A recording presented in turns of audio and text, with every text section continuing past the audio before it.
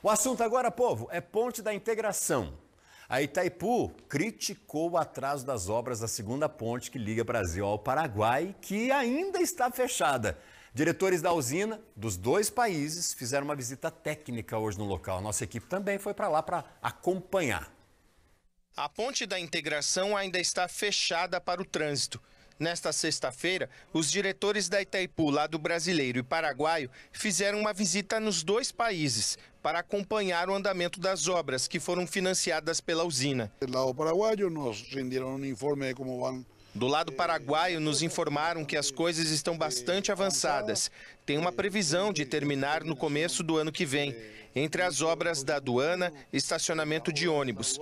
O acesso no quilômetro 18 ainda falta uma ponte, mas tem acesso alternativo para que se conclua o mais rápido possível. Enquanto do lado paraguai as obras estão na fase final, do lado brasileiro deve demorar um pouco mais. A construção da ponte e as obras das perimetrais entre os dois países começaram em 2021 e deveriam ser entregues em dois anos, mas a empresa responsável alegou prejuízo financeiro causado pela pandemia e pediu uma revisão de contrato.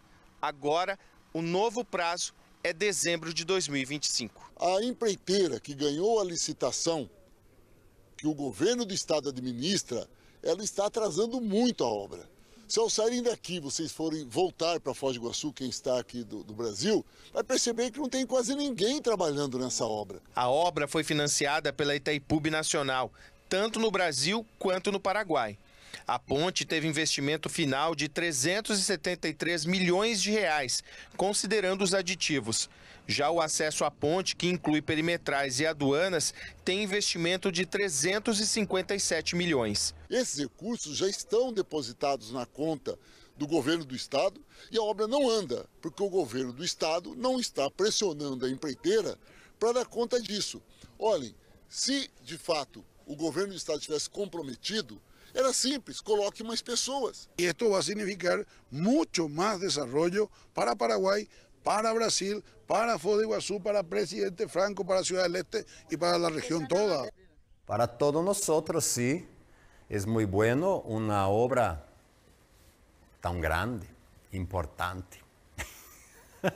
a, a gente não vê a hora né, dessa ponte estar pronta, porque ela é linda, uma obra, uma joia da construção civil, da engenharia, da arquitetura, mas que está lá, um elefante branco, parado.